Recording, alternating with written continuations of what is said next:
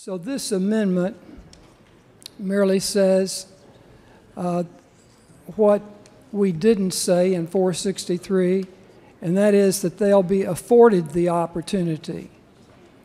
Uh, they'll be given that opportunity if they want to be in a faith-based program. That'll be considered. Uh, the offender and the judge must support that. And the cost of that program has to be less than the cost of a government program. So anytime they use a faith-based program, it's going to save the state money.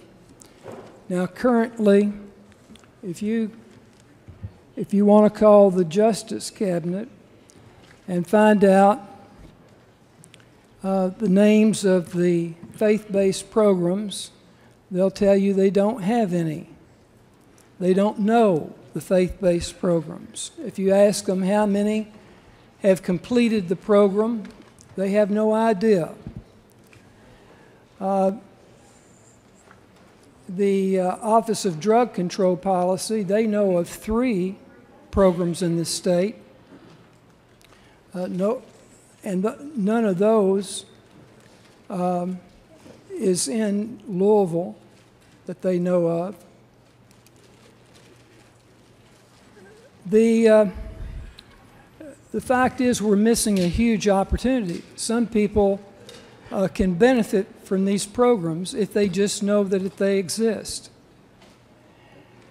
One of the programs, Teen Challenge, a women's program in Louisville, uh, they have about half of their residents come from the courts. Uh, it costs the state nothing. Uh, it costs Teen Challenge $1,500 a month per person. It costs the state, it costs the families of those uh, victims nothing.